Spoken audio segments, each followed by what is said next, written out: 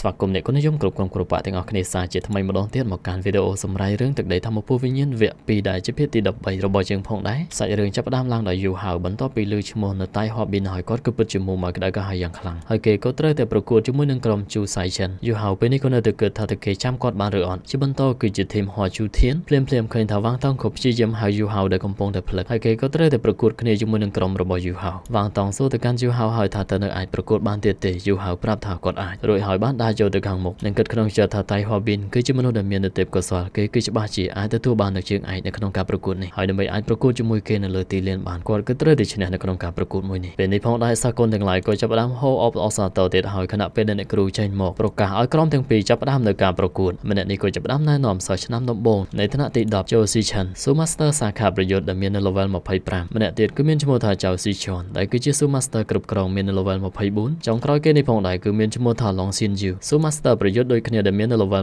22ពួកគេក៏បានប្រើប្រាស់អាវុធទៅចាត់ការយូហៅហើយដែលឡែកមកខាងទៀតពួកគេក៏បានសម្រុកចូលទៅកាន់ក្រុមរបស់ Hobin ដូចគ្នានៅក្នុងការប្រកួតឃើញថាយូហៅក៏ចាប់ផ្ដើមប្រើប្រាស់នៅកាយភ្នែករបស់គាត់ម្ដងទៀតឆ្លៀនឱកាសនេះវាងតង់ក៏ប្រើប្រាស់នៅស្នេហ៍ពលឹងទី2របស់គាត់ដែលគឺជាពន្លឺនៃអតិថិមេអំបាយុទ្ធសាស្ត្រដ៏សន្ធោសន្ធៅក៏បានផ្ទុះពេញទីលានជាលទ្ធផលអ្នកគ្រូក៏បានប្រកាសហើយថាក្រុមរបស់យូហៅគឺជាអ្នកឈ្នះក៏លេទៅកាន់ក្រុមរបស់ Hobin វិញឃើញថាគេម្នាក់ឯងតែប៉ុណ្ណោះសំអាងទៅលើពលឹងការពារដែលគឺជាក្លាសក៏អាចចាត់ការនៅដៃគូបាត់អេប៉ាដែលធ្វើឲ្យគេរបួសយ៉ាងខ្លាំងក្រុមរបស់ពួកគេគឺពិតជាមានប្រជាប្រិយភាពជាងក្រុមរបស់យូហៅទៅទៀតហើយជាលទ្ធផលនៅពេលនេះគឺសល់តែពីក្រុមចុងក្រោយតែប៉ុណ្ណោះបន្តមកទៀតសាច់រឿងក៏កាន់មកដល់អ្នកទាំងពីរធ្វើដំណើរត្រឡប់ទៅវិញវាងតង់ក៏បានសួរហើយថាតើមានរឿងអ្វីកើតឡើងទៅហើយតើឯងស្គាល់តៃហប៊ីនមែនទេយូហៅក៏បានប្រាប់ថាថ្នាក់ដឹកនាំនៃក្រុមបិសាចទាំង7ដែលបន្សល់ទុកនៅគេដំណើរឲ្យសាលាបិសាចនេះគឺជាអតិទេពសង្គ្រាមខ្លាសតៃមូបៃព្រមទាំងជាជាងខ្លាំងដែលគ្រប់គ្នាបានស្គាល់ព្រមទាំងសួរទៅកាន់វាងតង់ដឹងពីប្រវត្តិនៃគ្រួសារខ្លាសដែរទេវាងតង់ក៏ដឹងដែរនិយាយថាកុសម្ព័ន្ធខ្លាសដើមឡើយគឺជាគ្រួសាររាជវង្សនៃអាណាចក្រស៊ីងឡូឆ្លងកាត់នៅសង្គ្រាមអស់រាប់ពាន់ឆ្នាំអាណាចក្រស៊ីងឡូគឺស្ទើរតែត្រូវបានបំផ្លាញបាក់ធំធំទាំងឡាយក៏បានរួបរวมគ្នាដើម្បីជួយសង្គ្រោះទៅដល់អាណាចក្រនៅពេលនោះមនុស្សមានទេពកោសល្យនៃគ្រួសារខ្លាស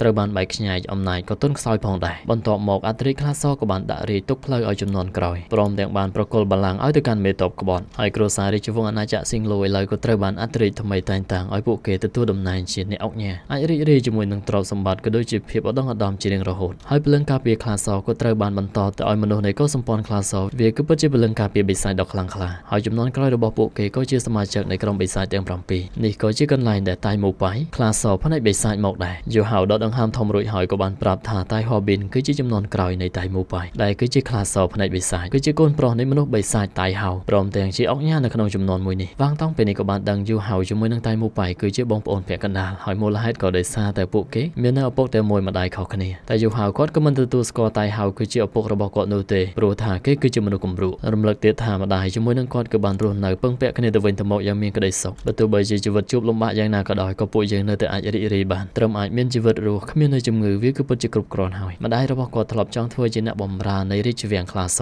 ដើម្បីជួយផ្គត់ផ្គង់យូហៅក៏ប៉ុន្តែគាត់ក៏ត្រូវបានពួកគេធ្វើបាបដូចជាអ្វីដែលអ្នកក្លាហានទាំងអស់គ្នាបានឃើញគេបានបោះនាងក៏ដូចជាប្រាប់ថាហូយុនអឺគឺមិនអនុញ្ញាតឲ្យរស់នៅក្នុងសំណាក់អង្គញាទៀតនោះទេនាងគឺមិនស័ក្តិសមនោះឡើយបន្ទាប់មកទៀតឃើញថាហូយុនអឺក៏ចាប់ផ្ដើមមាននៅជំងឺយូហៅបានព្យាយាមជួយធ្វើកិច្ចការផ្ទះឃើញកូនប្រុសបែបនេះក៏បានសរសើរថាកូនគឺពិតជាធំដឹងក្តីព្រមទាំងចេះយល់ការកំពុងតែហាលខោអាវក៏ស្រាប់តែមាននៅទាហានមួយចូលមកវាយទម្លាក់នៅស្នួរយូហៅសួរទៅធ្វើអ្វីនឹងគេក៏និយាយហើយថាតើមនុស្សព្រៃឯងមកពីណាតើឯងគ្មានភ្នែកទេមែនទេលោកម្ចាស់ទួយត្រឡប់មកវិញប្រកាសជិះចេញភ្លាមទៅហើយគេក៏ជាតៃហប៊ីនអ្នកទាំងពីរក៏បានបន្តវាយយូហៅម្ដាយរបស់គាត់ក៏ប្រញាប់មកជួយរងប្រាប់ថាកុំវាយកូនប្រុសរបស់គាត់អីព្រោះថាគេគឺនៅក្មេងទេខណៈពេលដែលពួកគេនៅតែបន្តវាយហប៊ីននេះក៏បាននិយាយទៀតថាវាយពួកគេខ្លាំងខ្លាំងទៅហួយុនអើក៏ត្រូវបានគេវាយជាដំណំយូហៅគឺពិតជាខឹងខ្លាំងមែនទែនតាំងពីពេលនោះម្ដាយរបស់យូហៅក៏បានធ្លាក់ខ្លួនឈឺរួចហើយក៏បានចែកឋានទៅបន្សល់ទុកនៅកំបិតស្នៀតក្លាសមួយកាន់មកដល់បច្ចុប្បន្នយូហៅក៏នៅតែនិយាយថាគាត់គឺត្រូវតែសងសឹកជូនម្ដាយរបស់គាត់ឲ្យគ្រប់គ្នាដែលនៅសំណាក់អុកញ៉ាក្លាសដែលបានធ្វើបាបម្ដាយរបស់គាត់ត្រូវតែលះបង់នៅតម្លៃភ្លាមភ្លាមនោះផងដែរឃើញថាភ្លើងក៏ហាក់បីដូចជាប្រែប្រួលយូហៅក៏ឆ្ងល់មែនទែនថាតើគឺជាអ្នកណាទៅមើលចុះឡើងក៏ដូចជាគ្មានមនុស្សនោះទេដោយឡែកឃើញថាវាងតង់ក៏ឆ្ងល់ថាតើយូហៅមានរឿងអ្វីកើតឡើងទៅយូហៅសួរថាតើមានបានលើសំឡេងអ្វីឬអត់នាងបានឆ្លើយប្រាប់ថាអត់លើទេ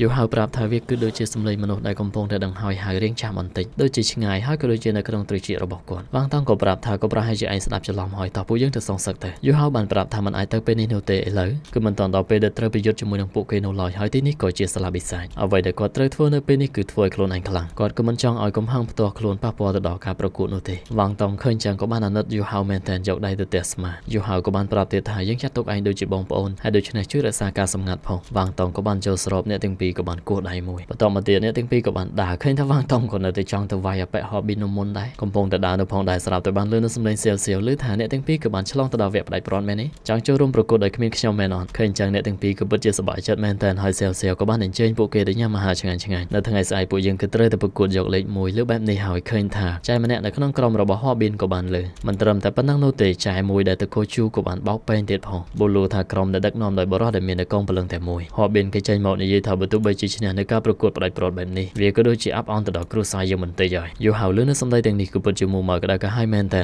វ៉ាងតុងក៏សួរហើយថាហេពួករបល់កាច់ឯងជាណាទៅបញ្ញាប់និយាយឈ្មោះចេញមកយើងក៏មិនចង់រករឿងជាមួយនឹងមនុស្សដែលមិនស្គាល់ឈ្មោះនោះទេភាគីទាំងសងខាងក៏បានមើលមុខគ្នាទៅវិញទៅមកហើយជាលទ្ធផលពួកគេក៏បានមកកាន់ទីលានប្រកួតហើយចែនេះបានណែនាំខ្លួនថាគឺជាសិស្សឆ្នាំដំបូងនៃថ្នាក់លេខ5មានឈ្មោះថាឈួយយ៉ាជាគឺជាសាខាផ្នែកខាងគ្រប់គ្រងចែឆ្មាបានចេញមកណែនាំខ្លួនគឺឈ្មោះជូលូគឺជាសាខាផ្នែកខាងវិឆ្មក់អ្នកចុងក្រោយគឺអ្នកក្លាហានទាំងអស់គ្នាក៏បានដឹងហើយថាគឺជាតៃហប៊ីនគឺជាសាខាប្រយុទ្ធអួតអាងបញ្ចេញនៅកងពលឹង3មកវ៉ាងតងក៏បាននិយាយថាបើកងពលឹង3វាយ៉ាងម៉េចទៅថ្ងៃនេះពួកយើងគឺច្បាស់ជាបដូលឯងអ្នកចុងរៃសែវសែវក៏បានយល់ស្របថាបដូលពួកគេហើយលើកនេះដោយសារតែការប្រកួតសំខាន់ចឹងហើយក៏មិនអនុញ្ញាតឲ្យសិស្សទាំងឡាយចូលរួមនោះដែរអ្នកដែលអាចចូលរួមបានគឺមានតែគ្រូគ្រូតែប៉ុណ្ណោះនាយកយាននឹងក៏ពិតជាឲ្យតម្លៃទៅកាន់ក្រុមរបស់ហប៊ីនមែនទែនសរុបគ្នាយើងក៏បានឃើញនៅនាយករងដែលគាត់មានឈ្មោះថាឈៀនទូទូនាយកយានសួរហើយគាត់ក៏បានបោះកាក់សិនតែកាក់របស់គាត់គឺមិនមែនធម្មតានោះទេវាគឺជាឧបករណ៍ទំនើបចរិតរបស់គាត់ស្តៀងគ្នាជាមួយនឹងនាយកអាណត្តិមុនដែលជា Frender បានបបួលនាយកយានភ្នាល់គ្នាតែម្ដងថាបើសិនជាក្រុមរបស់យូហៅឈ្នះនៅក្នុងរយៈពេល3ឆ្នាំអាចឲ្យគាត់ជ្រើសរើសថ្មីចូលទៅកាន់ផ្នែករបស់គាត់បានគ្រូទាំងពីរក៏ពិតជានិយាយមិនសូវត្រូវរើគ្នាប៉ុន្មាននោះទេលោកគ្រូឈៀនក៏បានប្រាប់ថាគាត់គឺមិនយកនៅសិស្សណាដែលមាននៅ level ចាប់ពី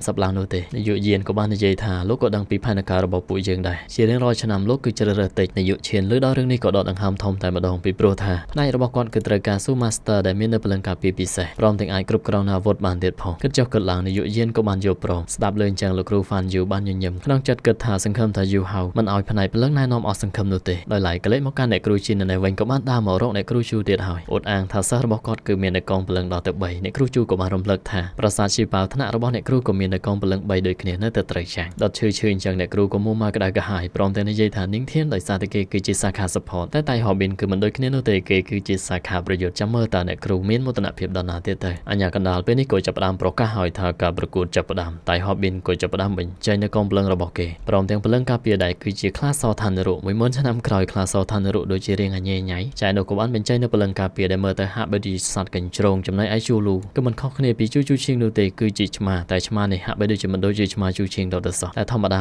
10000ឆ្នាំក្រោយវាមានការកាត់មានការខ្លាយអីតិចតួចហើយក៏លេទៅកាន់ក្រុមរបស់យូហៅក៏មិនភ្ញាក់ផ្អើលនោះដែរម្នាក់ម្នាក់ចាប់ផ្ដើមបញ្ចេញនៅព្រលឹងការពីរៀងខ្លួនសៀវសៀវលើកនេះក៏ចាប់ផ្ដើមប្រើប្រាស់នៅខ្លោយភាគីទាំងសងខាងក៏បានសម្រុករកគ្នាតាមយុទ្ធសាស្ត្ររៀងខ្លួនតែហបមានទប់ទល់ជាមួយនឹងវ៉ាងតុងព្រមទាំងប៊ូលូទៀតថាសមត្ថភាពរបស់ឯងគឺពិតជាខ្សោយណាស់បោះវ៉ាងតុងទៅលើនាងក៏ដឹងហើយថាគឺពិតជាមិនអាចប្រមាថបាននោះទេអ្នកទាំងពីរវាយចុះវាយឡើងវ៉ាងតុងក៏ពិតជាពិបាកទប់ទល់បើទោះបីជាមាននៅជំនួយពីយូហៅក៏ដោយមួយដៃនេះបើសិនជាកិច្ចមិនផុតនោះទេក៏ត្រូវរបួសធ្ងន់ដែរជូឈីងក៏និយាយហើយថាពួកគេខ្សោយមើលទៅពួកគេមិនអាចស៊ូបានត្រឹមទឹកទី1ផងសៀវសៀវឃើញនាងសម្រុកចូលដូច្នេះក៏ចាប់ផ្ដើមប្រើប្រាស់នៅស្និតលើងទី1នៃខ្លុយរបាំយូរ៉ាទាំង9ផ្លុំចេញទៅជូឈីងក៏ដឹងថាល្បឿនរបស់នាងនៅពេលនេះក៏បានថយចុះហួប៊ីនដែលកំពុងតែទប់ទល់ជាមួយនឹងវ៉ាងតុងគេក៏ដឹងដូចគ្នាដែរចាយនោះក៏លេចចុះក៏លេចឡើងក៏បានដឹងហើយថាគឺជាសៀវសៀវអញ្ចឹងក៏បានហក់ទៅប្រាប់ថាមើលមកខ្ញុំមកប្រើប្រាស់នៅស្និតលើងទី1របស់នាងហើយគ្រាន់តែមើលក៏ប្រហែលជាអ្នកគុណនិយមទាំងអស់គ្នាអាចទេដឹងចេញមកបែបហ្នឹងគឺមិនខុសអីពីណាណានោះទេនោះគឺជាមុនស្នេហ៍តែមុនស្នេហ៍នេះហាក់បីដូចជាកំណាចពេកហើយយូហៅប្រាប់ថាកុំឲ្យមើលភ្នែករបស់នាងតែស្នៀតរបស់សែវសែវនៅពេលនេះក៏ត្រូវបានបិទចិត្តទៅហើយអ្នកគ្រូជូថែមទាំងប្រាប់ទៀតថាស្នៀតពលឹងការពារដែលគឺជាកញ្ជ្រោងកន្ទុយ